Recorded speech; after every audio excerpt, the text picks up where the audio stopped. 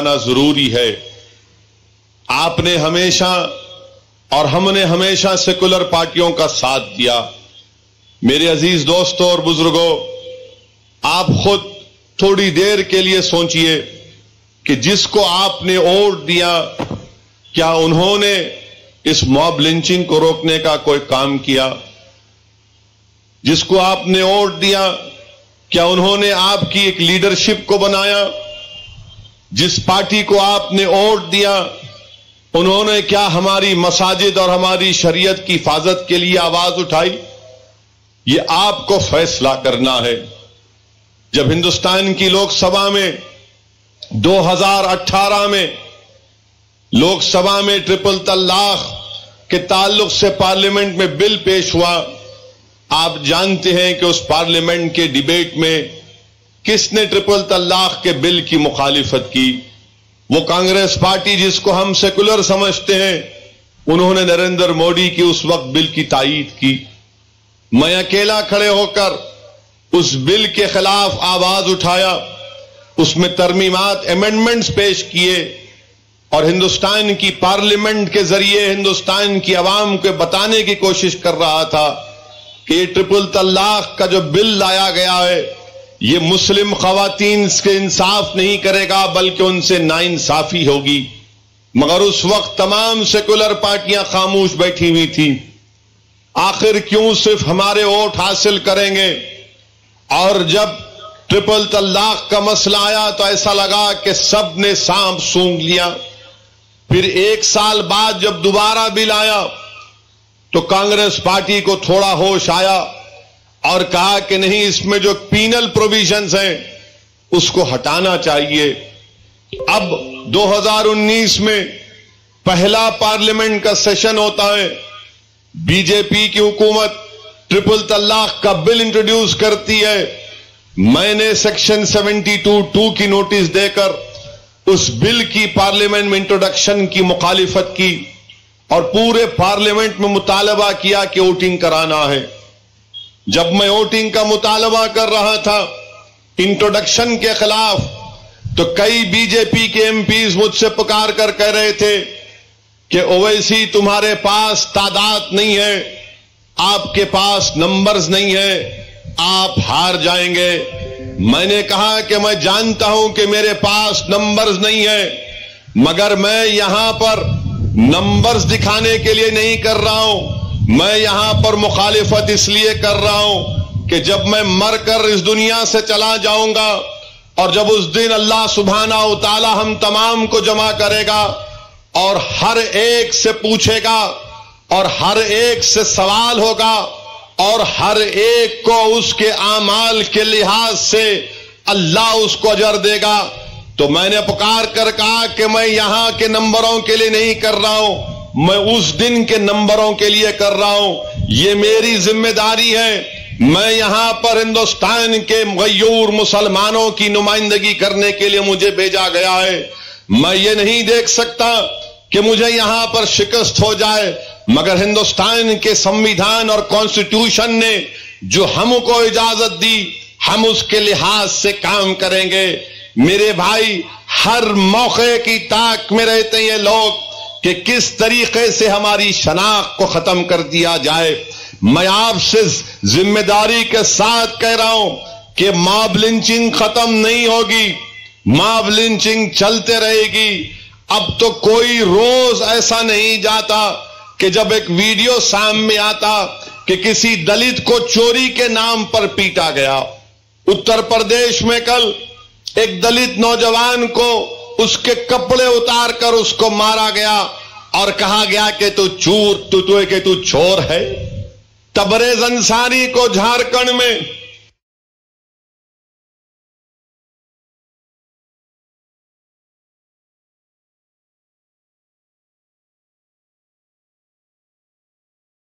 سارے ملک میں بدنام ہوں کہ میں ہمیشہ بھڑکاؤ بھاشن دیتا ہوں۔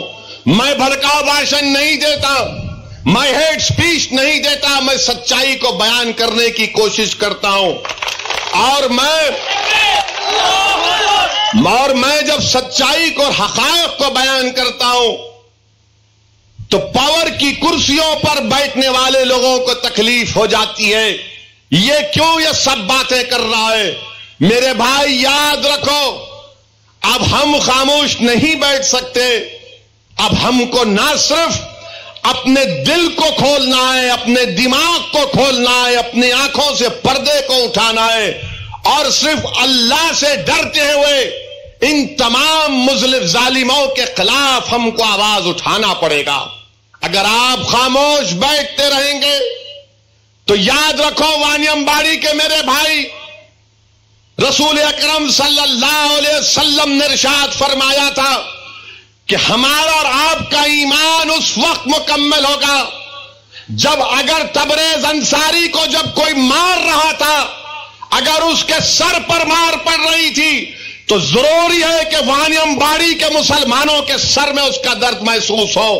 اگر تبریز کے منہ پر تماچا پڑ رہا تھا، تو ضروری ہے کہ تم اپنے چہرے پر اس کی تکلیف کو محسوس کرو۔ اگر تبریز کے دل پر مار پڑ رہی تھی تو ضروری ہے ایمان کا تقاضا ہے کہ میرے سینے میں بھی اس کی تکلیف محسوس کرو اگر تبریز کے پیروں پر کانٹا چپتا ہے، تو ایمان کا تقاضا یہ ہے کہ وانیم باڑی کے ہر غیور مسلمان اپنے پیر میں اس کی تکلیف کو محسوس کرے۔ اگر تم اس تکلیف کو محسوس نہیں کرتے، تو رسول اللہ صلی اللہ علیہ وسلم کے ارشاد کے مطابق ہمارا ایمان کمزور ہو چکا۔ اور یہی چاہتے ہیں لوگ۔ کہ تبریز کو مارتی ہے۔ جب پولیس صبح میں سات بجے آ کر تبریز کو لے کر جاتی ہے، تو پولیس لاک اپ میں رکھتے ہیں اس کو۔ اس کی بیوی جاتی ہے، ہماری بیٹی، ہماری بہو، ہماری بہن۔ تو پولیس کا انسپیکٹر کہتا ہے کہ تم کو بھی مار کر ہڈی پسلی توڑ دیا جائے گا۔ وہ بیوی باہر پولیس اسٹیشن میں ٹھہرتی ہے۔ تبریز کی ماں آتی ہے۔ تو دونوں پھر سے پولیس اسٹیشن میں جا کر چیختے ہیں۔ تو اتنے میں وہ جو ظالم سونو منڈل جو مار رہا تھا وہ پولیس اسٹیشن میں آ کر پولیس تبریز سے کہتا ہے کہ تو ابھی تک نہیں مرا۔ اس کی بیوی پوچھتی ہے، کون ہے یہ لوگ؟ تو تبریز کہتا ہے، آنکھوں میں آنسو لا کر انہی لوگوں نے مجھے رات بھر مارا تھا۔ پولیس اس کو اسپتال بھی لے کر نہیں جاتی۔ اسپتال لے کر گئے تو کہا یہ سب ٹھیک ہے۔ اور جیل میں جا کر اس کا انتقال شہید ہو جاتا۔ ہے میرے بھائی، یہ بتائیے، آپ ہمارے ملک میں کوئی ہیومینٹی رہی نہیں رہی؟ انسانیت نام کی کوئی چیز رہے گی نہیں رہے گی؟ کہ ٹارگیٹڈ کلنگ ہے، مسلمان ہے تو چور ہے، دلت ہے تو چور ہے، یا پھر ٹیررسٹ ہے؟ یا پھر یہ گندے لوگ ہیں اور آپ دیکھ لیے کیا ہوا؟ میرے بھائی، یہ واقعات ہو رہے ہیں۔ کوئی جھارکھنڈ میں پرسان حال نہیں ہے۔ ہم یہاں پر جنوبی ہندوستان میں تھوڑی آرام کی زندگی گزار رہے ہیں۔ اللہ نے ہم کو یہاں پر تھوڑا سکون تو دیا، مگر یاد رکھو، اگر تم یہ سمجھ رہے ہو کہ سکون میں ہوں، جب کہیں پر آگ لگتی ہے اور اگر کوئی یہ سمجھتا ہے کہ نہیں، میرا گھر وانیم باڑی میں ہے، آگ جھارکھنڈ میں لگی ہے، میرے پاس آگ نہیں آئے گی۔ یاد رکھو، اگر تم ہوش کے ناخون نہیں لوگے، اگر تم اپنی قیادت کو نہیں بناؤ گے اگر تم متحد نہیں ہوگے، اگر تم مسلک کے اختلافات کو کم نہیں کرو گے، اگر تم میں انسانیت ختم ہو جائے گی تو جو آگ جھارکھنڈ میں لگی، کہیں قدانہ خاصتا تمل ناڈو اور وانیم باڑی کے تمہارے گھروں تک نہ پہنچ جائے۔ تیار رہو اس کے لیے۔ یہ فیشزم کی پہلی نشانی ہے۔ یہ فیشزم ہے۔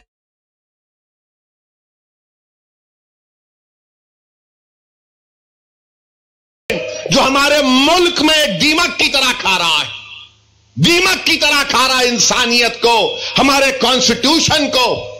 صحیح کہا سپریم کورٹ کے جج جسٹس چندر چڈ نے کہا تھا کہ ماب لنچنگ نہیں ہے، یہ ہندوستان کے بابا صاحب امبیڈکر کے بنائے ہوئے آئین سمویدھان اور کانسٹیٹیوشن کی لنچنگ کر رہے ہیں لوگ۔ جنہوں نے تبریز انصاری کو مارا، سنو۔ بی جے پی والوں سنو تم میری اس بات کو۔ اور ہندوستان کے وزیر اعظم آپ بھی سن لیجیے کہ جنہوں نے تبریز انصاری کو مارا، وہ ناتھو رام گوڈسے کی اولاد ہے وہ شیطان کی اولاد ہے یہ اور ان میں آئیسس میں کوئی فرق نہیں ہے۔ جنہوں نے تبریز کو مارا، وہ ٹیررسٹ ہے ماڈرن ڈے ٹیررسٹ ہے بتائیے آپ کہ آخر کب رکے گا یہ؟ تو ہندوستان کے ہمارے وزیر اعظم کہتے ہیں کہ مجھے بھی تکلیف ہوئی ہے۔ اس کو ختم ہونا چاہیے۔ مگر اور پھر وزیر اعظم کیا بولتے ہیں؟ مگر جھارکھنڈ کو کیوں بدنام کر رہے؟ کاش ہندوستان کے وزیر اعظم سے میں آج وانیم باڑی سے اپیل کر رہا ہوں۔ مسٹر پرائم منسٹر، اگر آپ واقعی میں سب کا ساتھ، سب کا وکاس اور سب کا وشواس چاہتے ہیں، تو میں آپ سے ڈیمانڈ کر رہا ہوں، اپیل کر رہا ہوں۔ کہ آپ اپنے پردھان منتری کا آپ کا جو گھر ہے، سیون ریس کوس روڈ کو آپ اپنے گھر میں اخلاق کی بیوہ کو بلائیے، پہلو خان کی بیوہ کو بسا کر سکیں گے۔ جب نیوزی لینڈ کی پرائم منسٹر نے، جب نیوزی لینڈ کی مسجد پر گولیاں چلائی گئیں، وہ نیوزی لینڈ کی پرائم منسٹر ہر مرنے والے مسلمان کے گھر کو گئی، ان کو گلے سے لگایا۔ کیا یہ انسانیت ہے۔ یہ انسانیت ہے۔ اور ہم امید کرتے ہیں کہ پرائم منسٹر میری اس بات کو سنیں گے۔ کچھ فرق نہیں پڑے گا آپ کی پاپولیرٹی میں۔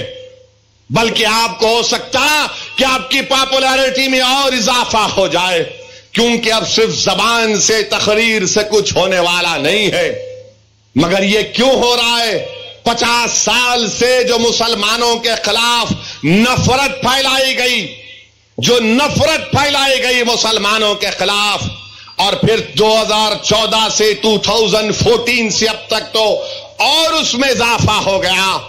اور وہی نفرت، وہی ہیٹرٹ کا نتیجہ۔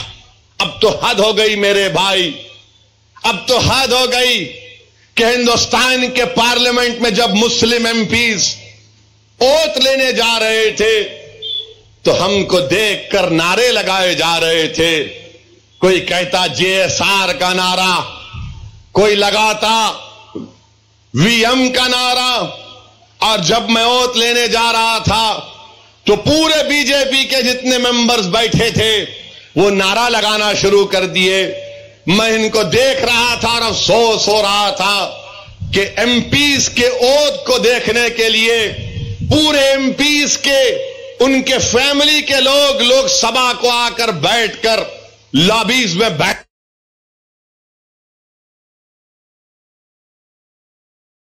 بیٹھ کر دیکھ رہے تھے۔ کوئی دیکھ رہا تھا کہ میرا میرا بیٹا ایم پی کا اوت لے رہا ہے۔ کوئی بیوی دیکھ رہی تھی کہ میرا ہسبینڈ اوت لے رہا ہے۔ کوئی ماں دیکھ رہی تھی کہ میری بیٹی اوت لے رہی ہے۔ ان تمام کے سامنے جب اسد الدین اویسی اوت لینے جاتا ہے تو بی جے پی کے ایم پی نعرہ لگاتے ہیں۔ میں کیا کرتا میں لڑتا ہوں لوگوں سے۔ میں نے کہا اور لگاؤ اور لگاؤ۔ میں نے کہا اور نعرہ لگاؤ۔ اور اس کے بعد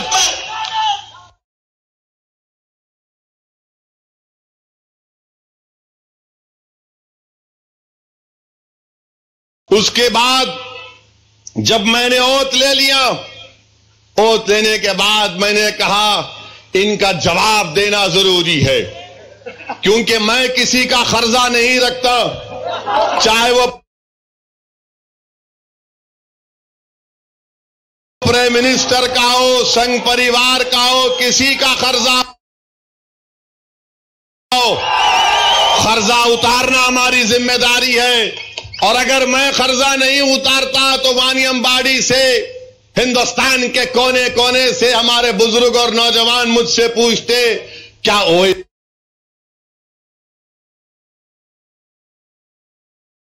اسی ڈر گیا موڈی سے۔ تو مجھے بتانا تھا کہ نہیں، ہم صرف اللہ سے ڈرنے والے ہیں اور ہم کسی انسان سے ڈرنے والے نہیں ہیں۔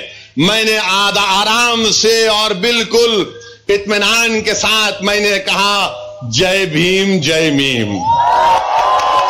یہ سمجھ میں نہیں آیا ان کو کیا کر دیا۔ اس کے بعد میں نے کہا، اب ایک اور بات سنو۔ تکبیر اللہ اکبر۔ اور جب پلٹ کے میں واپس گیا تو دیکھا پورے بی جے پی کے ایم پی کے صورتیں اتنے اتنے ہو گئے چھوٹے چھوٹے۔ جو پہلے بڑا خوش ہو رہے تھے سیونٹی ایم ایم کا سکرین دکھ رہا تھا اور جیسے میں نے کہا تکبیر، جیسے میں نے کہا جے بھیم، جے میم، تو اتنی صورت ہو گئی بولے، تم کیا کہہ دیے؟ میں نے کہا یاد رکھو، تم جو بولو گے اس کا جواب دیا جائے گا آپ تم جمہوریت کے دائرے میں رہ کر مقابلہ کرو گے، ہم تیار ہیں۔ ہم ہمیشہ جمہوریت کے دائرے میں رہ کر four walls of the constitution میں رہ کر ہم نے اپنی سٹرگل کو کیا ہے۔ مگر آپ بتاؤ میرے بھائی اسد الدین اویسی اور کسی مسلم ایم پی جب اوت لے رہا تھا، اس وقت نعرے لگا رہے تو جب روڈ پر ایک غریب جھارکھنڈ کے کسی شہر میں ایک مسلمان یا دلت چلتا ہوگا اور اس کے خلاف جب یہ نعرے لگائے جاتے ہوں گے، کون اس کی مدد کو آئے گا؟ کون اس کی مدد کو دوڑ کر آئے گا؟ یہ ماحول ہمارے ملک میں پیدا کر دیا گیا ہے کہ مسلمانوں کو خوف دلایا جائے۔ ہر ٹی وی ڈیبیٹ کے اوپر جب جاتا ہوں تو یہ لوگ بولتے mister Owaisi you are creating fear آپ خوف پیدا کر رہے میں ان سے پوچھتا ہوں کہ جب تم کسی کی ٹوپی دیکھ کر، داڑھی دیکھ کر اس کو مارتے ہو تو کون خوف اور فیئر پیدا کر رہا ہے؟ کون ہم کو چور کہہ کر مارتا ہے۔ کون ٹیکسی کا ڈرائیور بمبئی ممبئی تھانے کا؟ اس کو کہا گیا کہ تو جے ایس آر کا نعرہ لگا۔ جب اس نے کام نہیں لگائیں گے، اس کو پیٹ دیا آپ نے۔ کانپور میں آٹو رکشا کا ڈرائیور، اس سے کہا نعرہ لگا، اس نے کہا نہیں لگاؤں گا، تو اس کا سر پھوڑ دیا آپ نے۔ اور میں آپ سے اپیل کر رہا ہوں اور میں ذمہ داری کے ساتھ بی جے پی اور آر ایس ایس کے لوگوں سے کہہ رہا ہوں کہ اگر تم میری گردن پر تلوار بھی رکھ دو گے اور اگر تم میری گردن کو کاٹ بھی دو گے اور اگر میری زندگی کے چند سانسیں باقی رہیں گی تو خدا کی قسم سوائے کلمے کے کوئی نعرہ نہیں نکلے گا ہماری زبان سے۔ کوئی نعرہ نہیں نکلے گا۔ اور یہ میں کیوں کہہ رہا ہوں؟ اس لیے کہہ رہا ہوں کہ کانسٹیٹیوشن آف انڈیا میں فریڈم آف ریلیجن ایک فنڈامنٹل رائٹ ہے۔ رائٹ ٹو لائف ایک فنڈامنٹل رائٹ ہے۔ ایکوالٹی ایک فنڈامنٹل رائٹ ہے۔ ہندوستان کا کوئی گنڈا مجھ سے میرا فنڈامنٹل رائٹ نہیں چھین سکتا۔ جب تک دنیا آباد رہے گی، انشاءاللہ تعالی سترہ کروڑ اور اس سے زیادہ بھی ہو سکتے مسلمان ہندوستان میں باعزت نمبر ون کے سٹیزن بن کر رہیں گے۔ جب تک دنیا آباد رہے گی، جب تک سورج نکلے گا، ہم برابر حیال الصلاح اور حیال الفلاح کی صدائیں دیتے رہیں گے۔ ہم زندہ رہیں گے تو ہندوستانی مسلمان بن کر رہیں گے۔ اس دنیا میں رہیں گے تو غازی بن کر رہیں گے اور اگر اللہ ہمارے مقدر میں شہادت لکھے گا تو ہم اس کا شکر ادا کریں گے تاکہ حشر کے میدان میں ہماری ماں ہم سے یہ نہ کہے کہ بیٹا تو نے میرا کیونکہ کانسٹیٹیوشن تم کو رائٹ دیتا، اس رائٹ پر ہم کو چلنا۔ اور جب ہم یہ باتیں بیان کرتے ہیں تو ان کو بڑی تکلیف ہوتی ہے۔ کہ دیکھو یہ تمل ناڈو میں آ کر بھی یہاں پر اس طرح کی بات کر رہا ہے۔ ارے، ہم گونگا رہنے کے لیے نہیں پیدا ہوئے۔ ہم گونگا رہنے کے لیے ہم نہیں آئے۔ اللہ نے ہم کو زبان دی ہے اور اللہ نے ہم کو سوچ اور سمجھ دی ہے۔ میرے بھائی، میں آپ سے اپیل کر رہا ہوں کہ ڈرنے اور گھبرانے کی ضرورت نہیں ہے۔ ان کے ویڈیوز کو جاری کرنے کا مطلب کیا ہے؟ کہ خوف پیدا کیا جائے، ڈر پیدا کیا جائے۔ اسی لیے کہہ رہا ہوں کانسٹیٹیوشن میں ایکوالٹی فنڈامنٹل رائٹ ہے۔ کانسٹیٹیوشن میں right to life fundamental right ہے۔ کانسٹیٹیوشن میں freedom of religion fundamental right ہے۔ کلچر کی حفاظت کرنا آرٹیکل 26, 29 اور 30 میں فنڈامنٹل رائٹ ہے تو فنڈامنٹل رائٹ ہمارا پروٹیکشن ہم کو دیتا ہے۔ ڈرنے اور گھبرانے کی ضرورت نہیں ہے۔ اور یاد رکھو جو ڈر گیا وہ مر گیا۔ جس نے اپنے ڈر کو نک مٹا دیا وہ زندہ قوم کا ایک فرد ہے۔ ڈر کو اپنے قریب آنے مت دو۔ ہمت کو اپنی بلند رکھو۔ اپنے حوصلوں کو بلند رکھو۔ اپنے محلوں میں لیڈرشپ کو پیدا کرو۔ اپنے لیڈرشپ کو پیدا کرو۔ خواتین میں لیڈرشپ کو پیدا کرو۔ مردانے میں لیڈرشپ کو پیدا کرو۔ نوجوانوں میں تم سے اپیل کر رہا ہوں ایکسرسائز کرو۔ اپنی صحت کو اچھی رکھو۔ یہ نہیں کہ تم کوئی باڈی بلڈر بن جاؤ، مگر اتنی تو صحت تمہاری ہونا کہ اگر تم کو کوئی ایک پنچ مارا تو تم گرنا نہیں، تم اٹھ کے کھڑے ہو جانا۔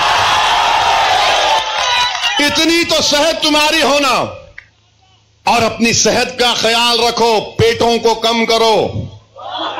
پیٹ نہیں رہنا۔ پیٹ نہیں رہنا، یاد رکھو ہم کس کی امت ہے ہم کس کی امت ہے جنہوں نے اپنے پیٹ پر دو دو پتھر باندھ لیے تھے۔ جنگ خندق میں دو دو پتھر باندھ لیے تھے۔ صحابہ ایک ایک پتھر باندھے۔ تو سبز گمت کے مکی نے کہا، دیکھو، میں نے دو دو پتھر باندھ لیے۔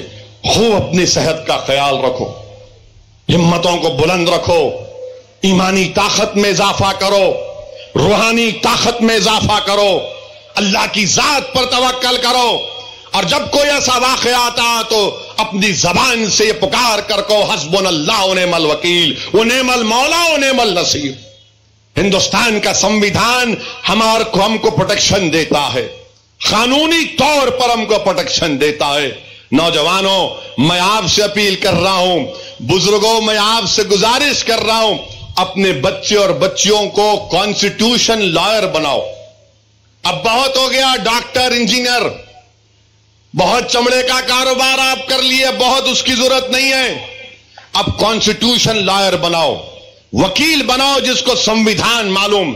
جس کو کانسٹیٹیوشن معلوم، اگر ہمارے کمیونٹی کے، اگر سو بچے کانسٹیٹیوشن لائر کے ایکسپرٹ ہو جائیں گے، اور سو میں سے صرف بیس دلی میں سپریم کورٹ میں رہ کر کانسٹیٹیوشن کو پروٹیکٹ کرنے کی بات کریں گے، تو یہ سنگ پریوار کے لوگوں کی نیند حرام ہو جائے گی۔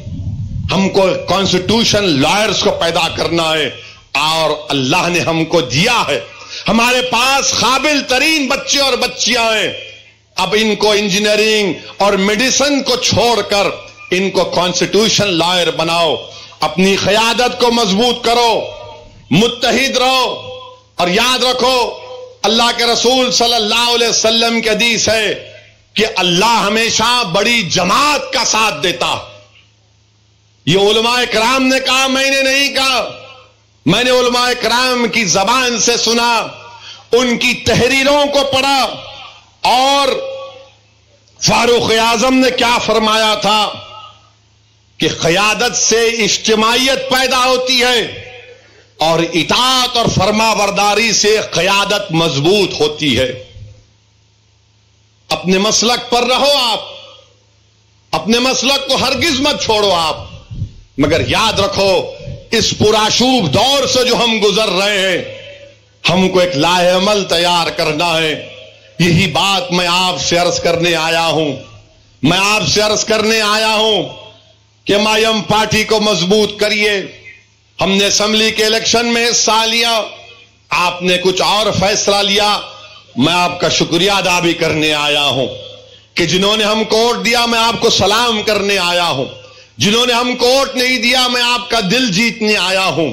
جو ہمارے مخالف ہیں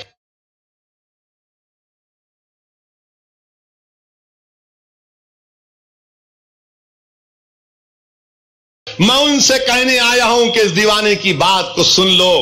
اگر اس میں کچھ سچائی تم کو نظر آئی تو ہم کو بھی موقع دو۔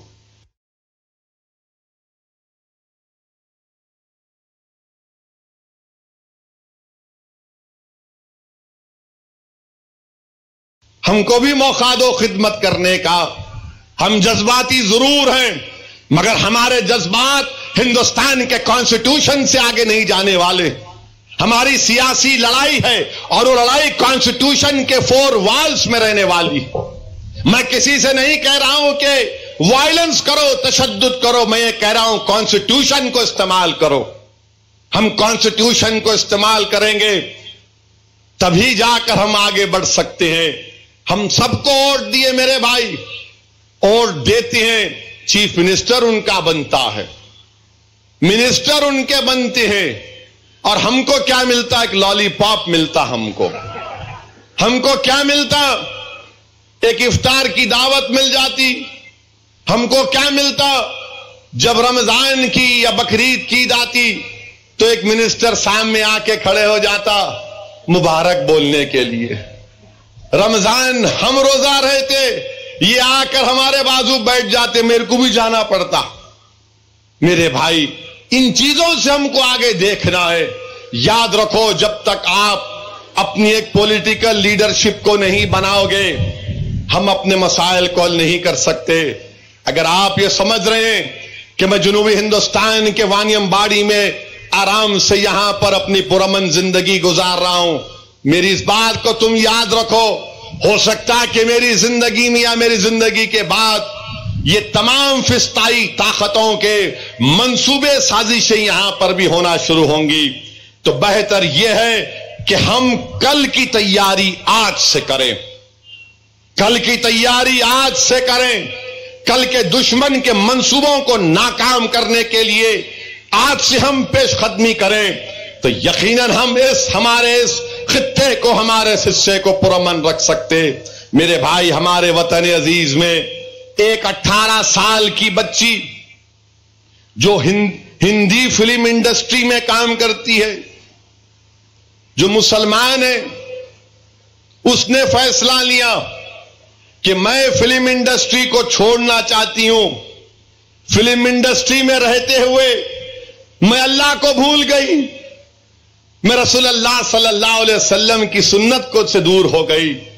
تو اس بچی نے کہا، اب میں، میرا دل نہیں لگتا۔ اس نے بڑا خوبصورت اور بڑا ہی ایک ایک لفظ جو اس بچی نے لکھا، اللہ اس کو سلامت رکھے کہ اتنی کم عمری میں اس نے ایسی لینگویج اور ایسے الفاظ کا استعمال کیا۔ اس نے فیصلہ لیا، میں چھوڑ رہی ہوں۔ تو پورا ہندوستان کے ٹی وی چینل ایسا لگا کہ ان کی بیٹی گھر سے بھاگ کر میرے سے شادی کر لی ارے وہ بچی اٹھارہ سال کی ہے، آپ کو تکلیف کیا ہے؟ وہ اڈلٹ ہے، وہ جو چاہے کر سکتی۔ اب تو ہمارے ملک میں ہومو سیکچولیٹی بھی لیگل ہو چکی ہے۔ سپریم کورٹ نے ججمنٹ دیا۔ اس پر کسی کو کوئی نہیں بولتے۔ یہاں کے ایٹین ایئرس کی بچی نے ڈسیشن لیا تو ہر ٹی وی چینل میں ڈیبیٹ ہر ٹی وی چینل میں ہر ایک کسی ایک گاڑی والے مسلمان کو بٹا کے یہ کیا ہو رہا ہے؟ آپ لوگ ڈرا رہے ہم کیا ڈرائیں گے؟ ہم کیا ڈرائیں گے بھائی؟ وہ اڈلٹ ہے۔ ایٹین ایئرس کی ہے، اس کا چوائس ہے۔ سپریم کورٹ کا ججمنٹ آ گیا۔ 377 کے پرائیویسی کے ججمنٹ میں سپریم کورٹ نے کہہ دیا کہ چوائس پسند۔ کانسٹیٹیوشن میں فنڈامنٹل رائٹ ہے۔ ایک بچی اٹھارہ سال کے اگر دین کی طرف راغب ہوتی ہے، تو ہندوستان کے بڑے بڑے لوگوں کو پیٹ میں درد شروع ہو جاتا ہے۔ کیا چاہتے آپ کہ ہم دین کو چھوڑ دیں؟ کیا آپ چاہتے کہ ہمارے وہ بچی دین سے دور ہوتے رہے؟ میں سلام کرتا ہوں اس بچی کو۔ اس بچی نے ہندوستان نہیں، بلکہ مسلمانوں کو آئینہ دکھایا۔ ان لوگوں کو آئینہ دکھایا۔ جو یہ کہتے ہیں کہ مسلمان اپنی خواتین کو سپریس کرتے ہیں، ان کو برخا اور نقاب میں ڈال کر دبا دیتے ہیں۔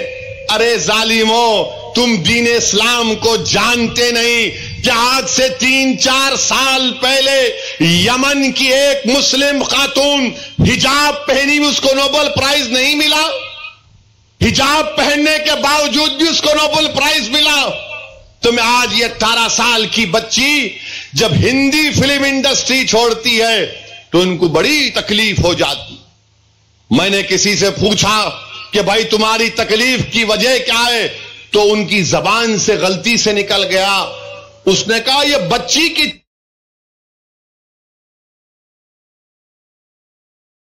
ہمت کہ وہ اپنا فیصلہ کر لے۔ میں نے کہا، یہی تمہارا تم نے سچ کہا کہ تم نہیں چاہتے کہ ہم اپنے فیصلے کریں۔ تم یہ سمجھتے ہو کہ ہم تمہارے غلام ہیں اور تم ہمارے آقا ہیں اور تم ہمارے لیے فیصلہ کرو گے۔ میں نے اس ذمہ دار آدمی سے اس کے منہ پر کہا، یاد رکھو، اب ہم تمہاری غلامی نہیں کریں گے۔ اب جو نوجوان ہے وہ اس غلامی کی زنجیروں کو توڑے گا۔ اگر ہم غلامی کریں گے تو ہمارے الیکشن ہے ولور میں پارلیمنٹ کا الیکشن ہے کب ہے؟ اگست پانچ کو ہے۔ ہمارا کینڈیڈیٹ نہیں ہے بھائی۔ ہم اونلی اسمال الیکشن لڑنے آ رہے میونسپل الیکشن پھر اسمبلی لڑیں گے۔ پارلیمنٹ میں ہمارا تو کوئی کینڈیڈیٹ نہیں ہے۔ ہم وکیل صاحب سے بھی بات کیے۔ ابھی ہمارے سے ملنے ڈی ایم کے، پارٹی کے، الیون ٹائم کے ملے۔ ہاں؟ ہمارے مرگن صاحب آئے دورے مرگن صاحب آئے تھے۔ ان کے بیٹے کو لا کے ملائے۔ اب کیا ہے میرے بھائی؟ وہ حیدرآبادی زبان میں ایک کہاوت ہے۔ اب وہ کہاوت کو یہاں بولوں گا تو پھر انہوں بہت ناراض ہو جائیں گے اے آئی ڈی ایم کے والے بی جے پی والے۔ کیونکہ یہ اے آئی ڈی ایم کے اور موڈی ایسا لگ رہا، دونوں بھائیاں بچھڑ گئے تھے، اب مل گئے۔ میں پارلیمنٹ میں بولتا تھا تمبی دورئی صاحب کو sir don't do it sir you will be politically in loss ان کے جو تمبی دورئی صاحب کے بعد جو فلو لیڈر بنے، وہ میرے سامنے بیٹھتے تھے۔ میں ان سے بھی کہتا تھا کہ دیکھو، یہ موڈی تم کو لے کے ڈوبیں گا تمل ناڈو میں۔ تو بیچارے خاموش بیٹھتے تھے۔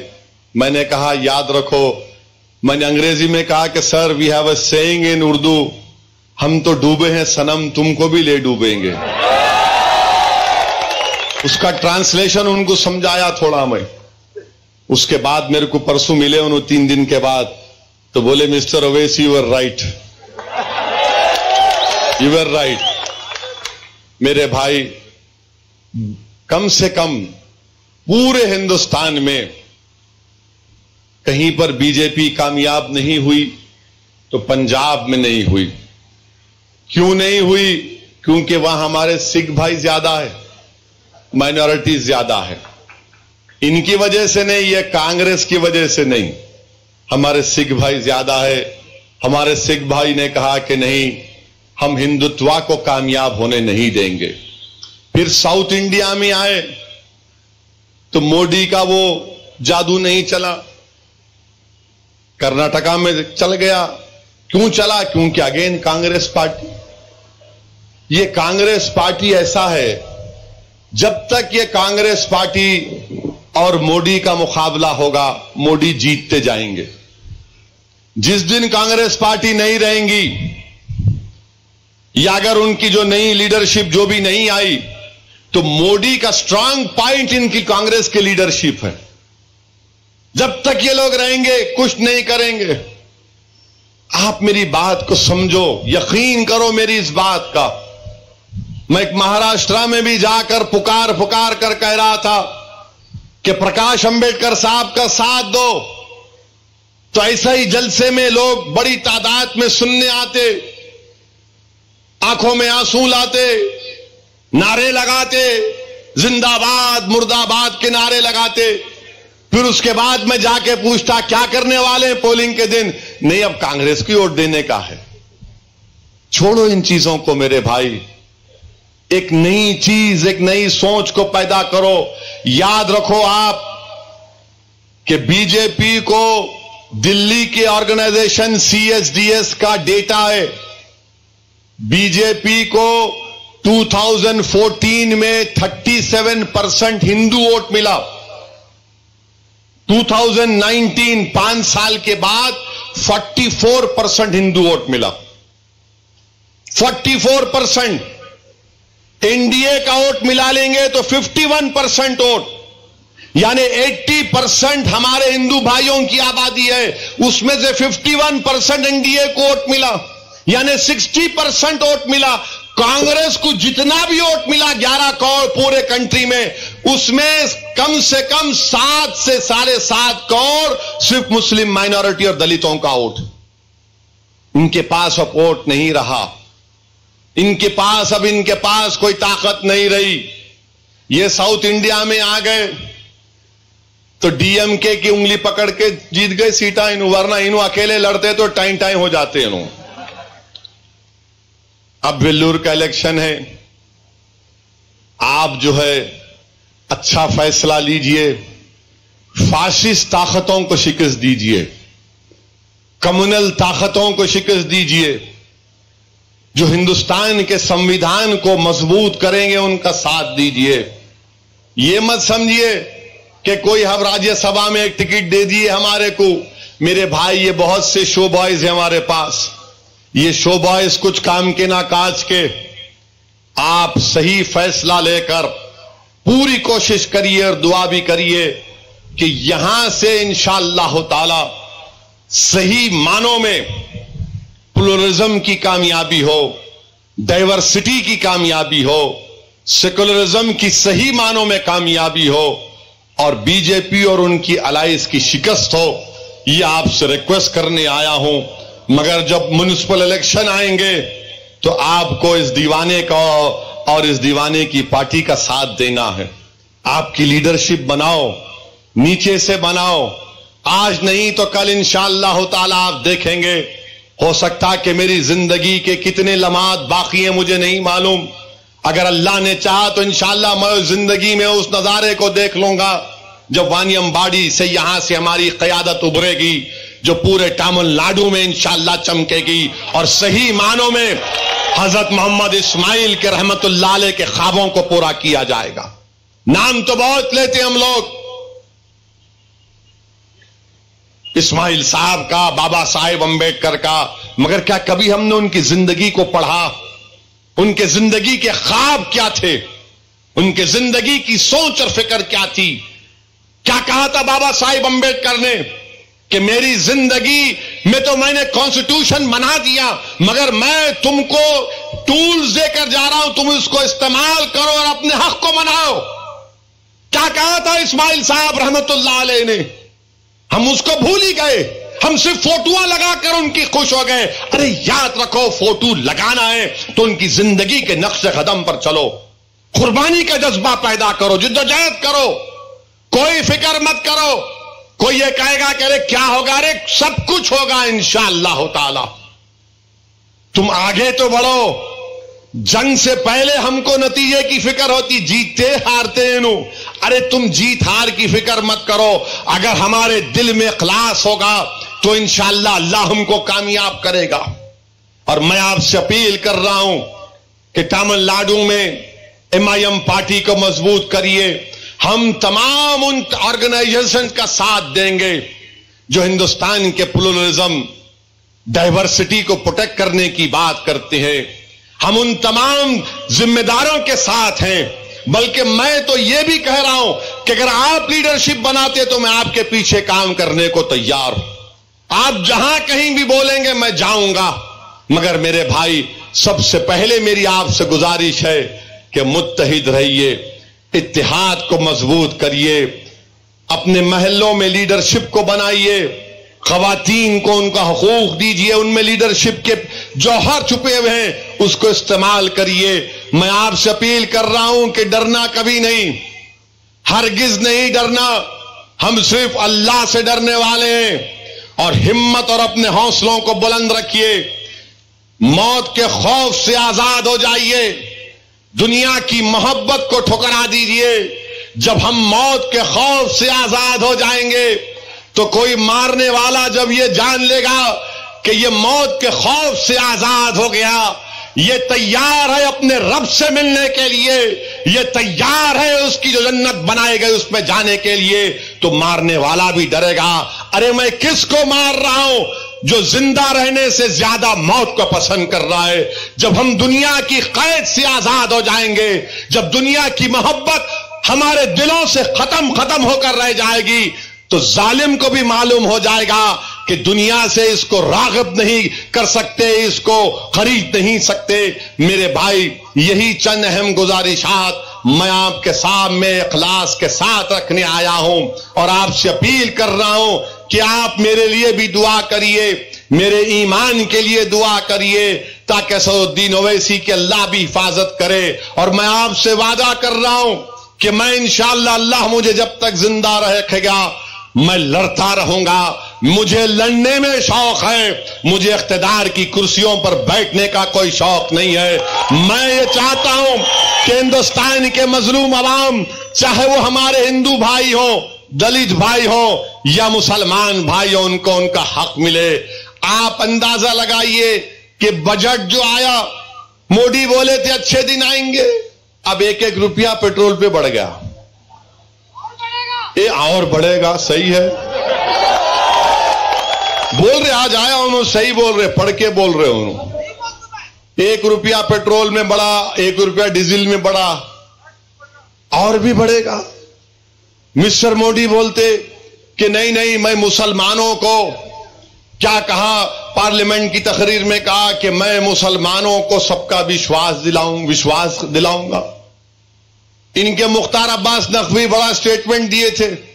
ہم ہر سال ون کروڑ مسلمز کو اسکالرشپ دیں گے۔ میرے پاس میڈیا کے لوگ آ کے بولے وہ اسی یہ بولا یہ۔ ارے میں بولا اس کو بولنے کی بہت عادت ہے اس کو۔ بولتے رہتا جملہ ہے۔ اب بجٹ میں آپ دیکھیے پچھلے سال سے اب مائنورٹیز کا اسکالرشپ کے بجٹ میں ایٹی کروڑ کم کر دیے۔ ایٹی کروڑ ایک اور تو چھوڑو آپ۔ تو معلوم ہوا نریندر موڈی لمبا لمبا جملے بازی کرتے ایٹی کروڑ کم کر دیے۔ ہر کسانوں کے بارے میں ایگریکلچر کے بارے میں ایسی لمبی فہرست ہے۔ بہرحال میرے بھائی، انشاءاللہ اللہ تعالی یہ پانچ سال بھی کٹ جائیں گے۔ اللہ نے چاہا تو یقیناً کٹیں گے، مگر ہم کو متحد رہ کر اپنے ہمتوں کو بلند رکھ کر، ہمارے دلت بھائیوں کو، ہمارے سیکولر ذہن رکھنے والے ہمارے ہندو بھائیوں کو سب کو ساتھ لے کر آگے بڑھنے کی ضرورت ہے۔ میں پھر سے آپ سے اپیل کر رہا ہوں کہ وانیم باڑی میں مائیم کا ساتھ دیجیے، مضبوط کریے۔ اگر کوئی ذمہ دار لوگ کام کرنا چاہتے ہیں تو آپ آئیے۔ میں آپ کو دینے ذمہ داری دینے تیار ہوں، مگر اپنی پارٹی کو لے کر آگے بڑھیے۔ شکریہ، واخر الدعوان الحمدللہ رب العالمین۔ اب اے ون ٹاؤن شپ چیولہ اور موئن آباد کے درمیان مین روڈ سے 1.3 کلومیٹر آبادی سے لگا ہوا تمام ڈیولپمنٹ کے ساتھ جہاں آپ اپنا گھر بنا کے رہ سکتے ہیں، جو ہے بالکل بالکل بالکل آبادی سے لگا ہوا چار لاکھ میں سو گز کا plot drainage electricity footpath BT road college bus stop جیسی تمام سہولیتیں دستیاب ہیں۔ آپ کا یہ چھوٹا سا انویسٹمنٹ آپ کا اور آپ کے بچوں کا مستقبل بدل سکتا ہے۔ مزید معلومات کے لیے ہمیں کال کریں۔ Address pillar number 235 opposite fishers department Rajendra Nagar Hyderabad contact seven seven nine nine six zero three eight three eight اگر آپ نے ہمارے چینل کو ابھی تک سبسکرائب نہیں کیا ہے تو یہاں پر ریڈ کلر کا سبسکرائب بٹن دکھ رہا ہے اسے کلک کریں اور ہمارے چینل کو سبسکرائب کیجیے اور ساتھ ہی ساتھ بیل آئیکن کو بھی کلک کیجیے، جس سے آپ کو تازہ تازہ اپڈیٹ ملتی رہے۔